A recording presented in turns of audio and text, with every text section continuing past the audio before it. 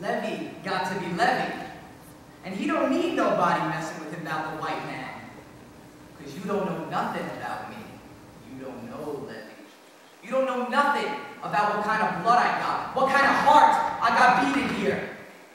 I was eight years old when I watched a gang of white men come into my daddy's house and have to do with my mama any way they wanted. We was living in Jefferson County, about 80 miles outside of Natchez. My daddy's name was Memphis. Memphis Lee Green had be 50 acres of good farming land.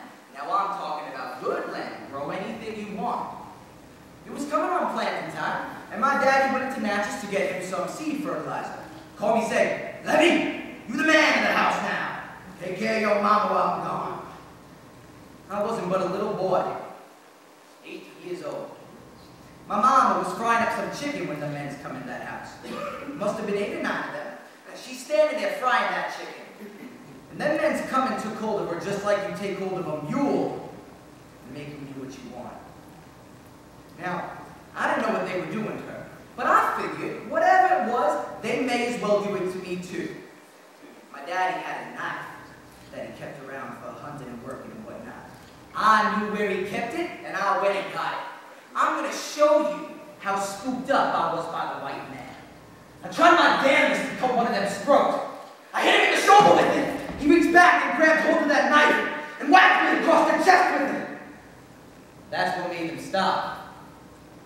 They were scared I was going to bleed to death.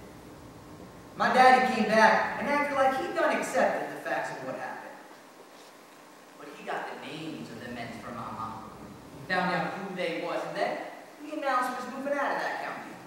My daddy went and smiled in the face of of crackers were giving my mom. Smiled in his face and sold him our land. He got us settled in, and then he took off one day. I ain't never seen him since. See that, hiding up in the woods, laying to get the maiden nine men. My daddy wasn't spooked up by the white man, no sir, and that taught me how to handle them. I seen my daddy go up and grin in this cracker's face, smile in his face and selling his land. All the while, he's planning how he's going to get him and what he's going to do to him. That taught me how to handle that. So you all just back up and leave Levee alone about the white man. I can smile and say, yes, sir, to whoever I please. I got time coming to me. You all just leave Levee alone about the white